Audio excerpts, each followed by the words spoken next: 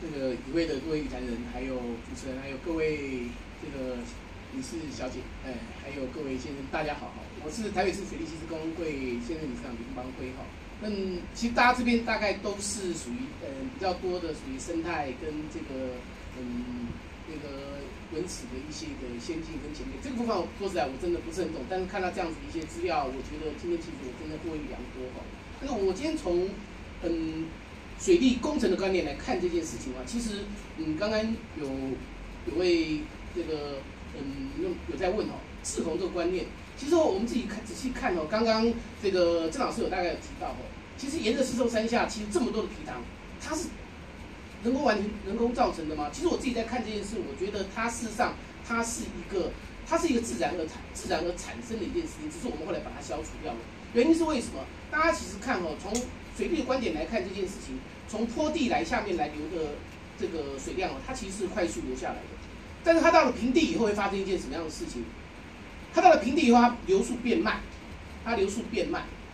但它一定要找到一个，它当它你从山上下来的水快速下来以后，你到了平地变慢以后，它要找到一个水，它慢慢，它要先蓄起来，才能够慢慢慢慢慢流出去。所以当时的包括这些，包括的二重埔，包括的中坡，包括的永春皮。其实是在一个自然的环境之下，它养成的当地有一个比较比较低洼的地方，比较有一个洼区的地方，它就造成了这样子一个自然的一个自从，它可以让我们的水流可以慢慢的往下游在走。所以，我我觉得这个是过去这个是在自然环境、大自然水造给我们的这样子的一个这样子的一个环境，只是我们后来人为的，因为过多的人进入以后去做了一些破坏哦。那当然，其实它还有很多很多的一些相关性的一些可以去做一些克服。刚刚其实郭老师有大概提到哈，做一些这个嗯造林或者是一些这个整个树木，其实来去做一些防洪的，或者是更好的一些嗯相关性的维气或的一些的调整哦。其实我们其实我们自己在学水文的这样子的一个背景的，我们常常在提到一件事情其实我们最怕的就是水下来以后，全部都变成径流，就变成。就是造成淹水的一个很重要的一些问题。那其实事实上，水文它只有这只有径流吗？其实我们以前过去在台老师林国芳老师常跟我们在上课的时候常跟我们讲的，其实从降雨到径流，其实它还有另外四个好朋友，啊，还有四另外四个好朋友。第一个好朋友是什么？第一个好朋友是蒸发，只要你有停，它就可以蒸发，就可以减少我的径流。第二个好朋友是什么？第二个好朋友是入渗，啊，我下到地底下还要能够入渗的话，也可以减少径流。第三个好朋友。好，第三个好朋友是什么？第三个好朋友就是节流。怎么样去节流呢？就是刚刚陈如郭郭老师才讲的这个部分，就是你今天只要我树木多，我树种多的话，我大概就可以做很多很多，因为它靠它的树叶，靠它的枝干，靠它可以做很多的节流，让我的水不会直接降落到我的土地上面来。这是第三个好朋友。第四个好朋友，第四个好朋友什么？涡序。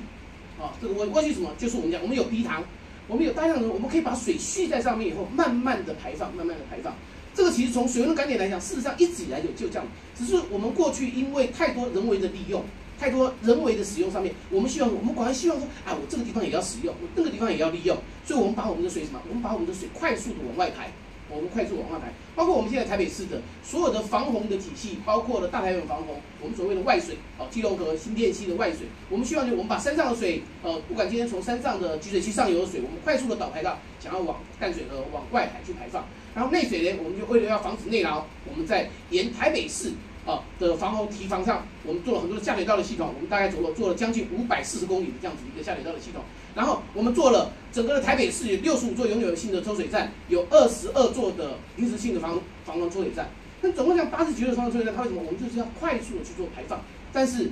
到了现在，气候变迁，每年就刚刚陈如刚刚有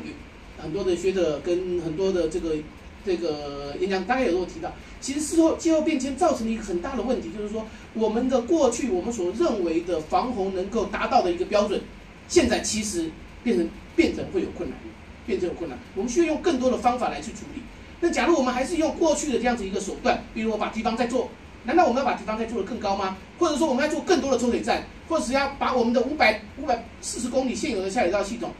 再提升更多吗？其实这种大概都会有困难度，而且它的经费跟这样子一些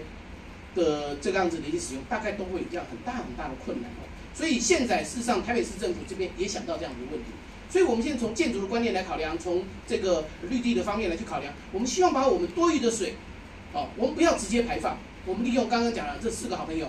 的方式，包括挖蓄、包括节流、包括入渗的方式，哦，来去慢慢慢慢，我们把这些水聚集起来，慢慢排，慢慢排，哦，可以把我们的整个的防洪体系，我即便是我在既有的这样子的一个防洪体系下面，我可以我把我的保护标准从现在的常常大概或许有人听到哈，我们一个小时台北市保护标准七十八点八厘米这样子的一个这样子一个保护标准，我们虽然能够把它抬高到哪里，我们可以把它抬高到八十，可以抬高到一百。哦，这样子让我们的保护标准，我们在既有的一个条件之下，我们利用所有的配置，或者是我们有一些嗯非工程的一些手段，或者是一些其他的，我们利用自然生态的一些观念来去做一些处理，这样就可以达到我们现在需要我们，因为我们不管怎么讲，我们还是因为我们有太多的人生活在这个地方，那我们还是需要保护